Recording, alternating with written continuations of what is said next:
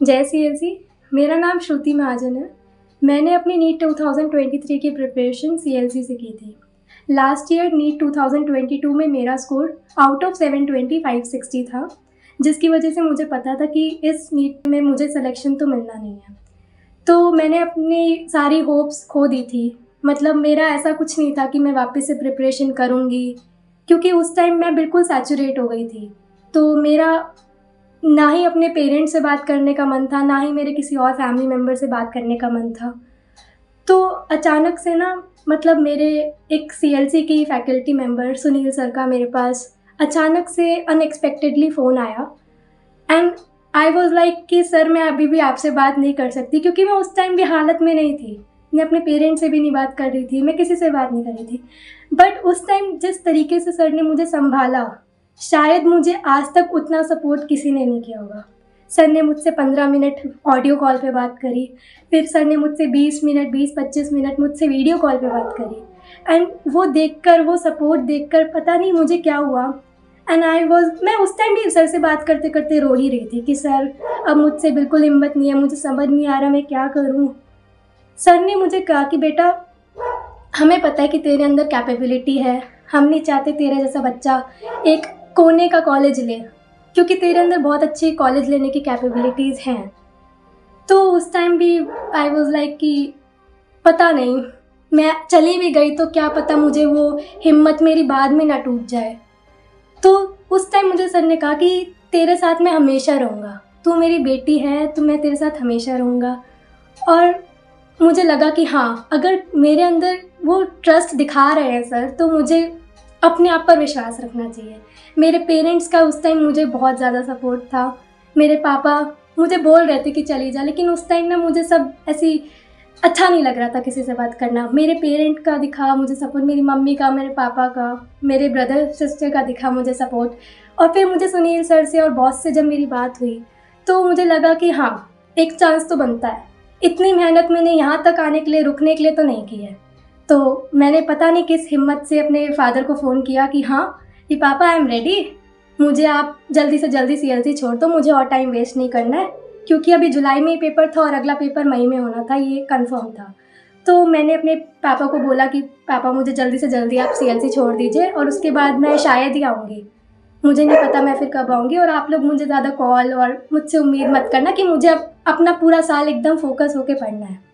मैं गई C L C C L C के टीचर्स का मुझे डर था। मुझे डर था कि मैं एक रिपीटर होके जा रही हूँ तो मुझे कैसा ऐसे ऐसे गलत अटेंशन मिलेगा कि हाँ रिपीटर है, ये है वो। लेकिन ऐसा कुछ भी नहीं था।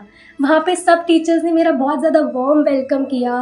मुझे ऐसा फील नहीं होने दिया कि मैं वो चीज़ दोबारा कर रही हूँ। उनका सपोर्ट देखकर मेरा कॉन्फिडेंस बढ़ गया। मेरे जो टीचर्स थे, जो फिज़िक्स केमिस्ट्री एंड मुझे सब पढ़ाते थे बायोलॉजी टीचर इश्तियार सर, मेरा पूरा सपोर्ट सपोर्ट दिया। कोई भी डाउट होता था, मेरे टीचर्स ने मुझे पूरा सपोर्ट दिया। फिज़िक्स में ढाका सर ने मेरा पूरा साथ दिया मेरा। मुझे कोई भी डाउट होता था सर मेरे नंबर कम रह रहे हैं, मैं क्या करूँ? सर सीधा बोलते थे, बेटा प्रैक्टिस करनी है और कुछ नहीं करना। फ़िज़िकल केमिस्ट्री में हनुमान सर ने पूरा साथ दिया। लास्ट के पंद्रह दिन बचे थे और हनुमान सर ने आधा घंटा सिर्फ़ मुझसे बात की थी। और उससे ना मुझे इतना सपोर्ट मिला कि हाँ अगर मेरे नंबर इन टेस्टों में कम भी आ रहे तो कुछ फ़र्क नहीं पड़ता है। उस नीट के पेपर में आएँगे, और वो आए। मेरे टीचर्स ने इतना सपोर्ट मुझे दिखाया तो उससे अच्छा मुझे और कॉन्फिडेंस और क्या मिलेगा? मेरे पेरेंट्स का सपोर्ट मेरे पास था, मेरे टीचर्स का सपोर्ट मेरे साथ था। इससे ज़्यादा मुझे और क्या चाहिए था? इसीलिए मैं अपनी कहानी के थ्रू आप सबको, आप सब नीट एक्सपीरियंस को, जो नीट 2024 के लिए प्रिपेयर कर रहे हैं और जो अभी कन्फ्यूज़न में है कि हम क्या करें मैं उन सबको वो मैसेज देना चाहती हूँ, अपनी पूरी फैमिली के साथ बैठ के कि आप निराश मत होइए। अगर आपके इस नीट 2023 में एज एक्सपेक्टेड आपके स्कोर नहीं बने हैं तो कोई बात नहीं, पाँच मई है आपके लिए। उस पाँच मई को वो पाँच मई सिर्फ़ आपका होगा। ये मैसेज मैं इसलिए दे रही हूँ क्योंकि मेरे लिए सत्रह जुलाई शायद नहीं था, मेरे लिए सात मई था। इसीलिए हो सकता है आपके लिए पाँच मई हो। तो आप बिल्कुल कन्फ्यूज़न को छोड़ दीजिए। यही कहूँगी कि आप चाहे किसी भी संस्था से हो, आपके लिए मैं ऐसा ऐसा कुछ नहीं कि मेरे को सीएलसी से कुछ है। मैं सीएलसी में पढ़ चुकी हूँ, इसीलिए सीएलसी के बारे में बहुत अच्छे से जानती हूँ। वहाँ की संस्था आपका ध्यान अपने बच्चे की तरह रखती है। वहाँ की जो वार्डन्स है, अपने हॉस्टल में आपका पूरा मतलब अपना पूरा ध्यान आपको देंगी। बॉस है। हर असेंबली में जब बॉस आते हैं तो एक अलग जोश बन जाता है। मेरे पेरेंट्स तक उनकी असेंबलीज में आते थे और वो लोग कहते जाते थे कि इससे अच्छा हमने अभी तक कहीं नहीं देखा। इसीलिए मतलब मेरे पेरेंट्स एक दिन आते थे और वो इतना खुश होके जाते थे। तो सोचो कि मतलब मैं कभी भी डीमोटिवेट होती थी।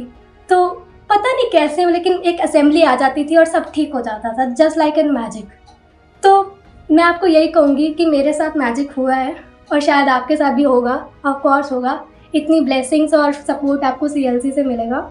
तो आपको ज़रूर इस निराशा को छोड़कर अपनी नीट 2024 में सीएलसी को अपना गाइडेंस सपोर्ट बनाकर नीट 2024 के लिए प्रिपरेशन करनी चाहिए। बॉस आपका साथ हमेशा देंगे। सीएलसी की फैकल्टी आपके साथ हमेशा देंगी। कोई भी आपको डाउट होएगा 24 फोर आवर्स बॉस आपके साथ रहते हैं। कोई भी आपको दिक्कत होती है, हम कभी भी किसी भी टीचर से जाके जाएँगे, हमको पक्का विद इन एन आवर हमको सॉल्यूशन मिल जाता है। इससे अच्छी बात और क्या होगी? पेरेंट्स मेरे शायद ही मुझे हफ़्ते में दो बार कॉल करते होंगे, क्योंकि उन्हें पता था कि वार्डन्स है, संभाल लेंगे मेडिकल फैसिलिटीज़ थी हमारे हॉस्टल में। कोई भी दिक्कत होती थी बॉस से जाके हम कभी भी मिल सकते थे। इतनी मीटिंग्स होती थी तो फिर मुझे कभी ऐसा लगा नहीं कि मुझे अपने पेरेंट्स के सपोर्ट की ऐसे मुझे मिसिंग हो रहा है कुछ, लेकिन ऐसा कभी फील नहीं हुआ। जब भी हम लोग सब आते थे घर वाले, बहुत खुशी खुशी जाते थे। इसीलिए मैं सब पेरेंट्स को भी यही कहना चाहूँगी कि अपने बच्चों को एक मौका फिर देना चाहिए आपको, क्योंकि पेरेंट्स भी शायद कभी कभी कंफ्यूज होते हैं कि हम क्या करें। उनका भी शायद अपने बच्चे से थोड़ा थोड़ा ट्रस्ट शायद चला जाता है। लेकिन मैं यही कहूँगी कि अपने बच्चे पे विश्वास रखिए सी पे विश्वास रखिए।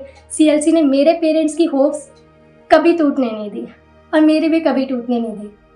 और बस ऑल द बेस्ट सबको कहना चाहूँगी। जय सी एल सी जय सी एल सी